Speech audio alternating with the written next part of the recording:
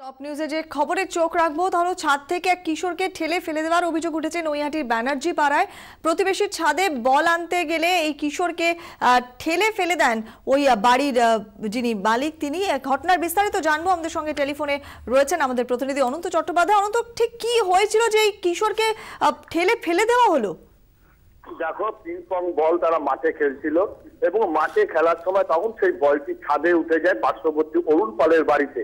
তখন অরুণ পালের বাড়িতে যখন উঠে যায় তখন এই বাচ্চারা সবাই মিলে তখন পাঁচিল বেয়ে তারা ছাদে তখন উঠতে যায় বল পাচ্ছে তখন এই প্রীতম রায়চৌধুরী সেও তখন ওই বল পেরে যখন নেমে আসবে তখন তাকে জানলা দিয়ে তাকে ধাক্কা মেরে তাকে কানিস থেকে ফেলে দেওয়া হয়।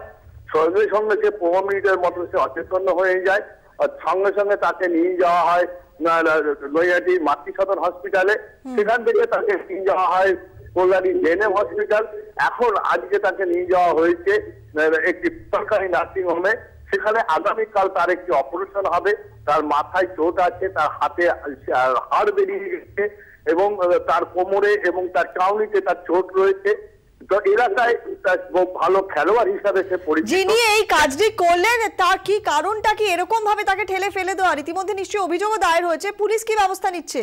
নৈয়াচি থানায় দেখো অভিযোগ দেওয়া হওয়ার পরেও এখনও পর্যন্ত সে গ্রেপ্তার হয়নি। তার বিরুদ্ধে তিনশো সাত ধারা এবং তিনশো পঁচিশ ধারায় মামলা রুজু হয়েছে যেটা নন বেলেবল তিনশো সাত ধারা। তা সত্ত্বেও সে এখনও কেন গ্রেপ্তার হয়নি সেটা নিয়েই কিন্তু প্রশ্ন এলাকার বাসিন্দাদের।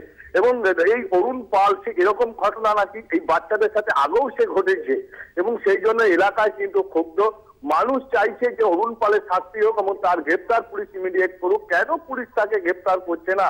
সেই নিয়ে কিন্তু মানুষের মনেও কিন্তু সেই তাদের প্রশ্নের দানা বাজছে তবে এই কথা বলে আমাদের প্রতিনিধি অনন্ত চট্টোপাধ্যায়ের সঙ্গে। বেসরকারি হাসপাতালে এই মুহূর্তে ভর্তি রয়েছে। এই কিশোর প্রীতম চৌধুরী ছাদ থেকে বল আনতে গিয়েছিল খেলতে খেলতে পাশের অরুণ পালের বাড়িতে বল চলে যায়। সেই বল আনতে যাওয়ার সময় হঠাৎ করে অরুণ পাল তাকে ছাদ থেকে শটান ধাক্কা মারেন। ফলত গুরুতরভাবে জখম এই মুহূর্তে ওই কিশোর। যদিও এই অরুণ পালকে এখনও পর্যন্ত অভিযোগ দায়ের হওয়া সত্ত্বেও পুলিশ গ্রেফতার করেনি।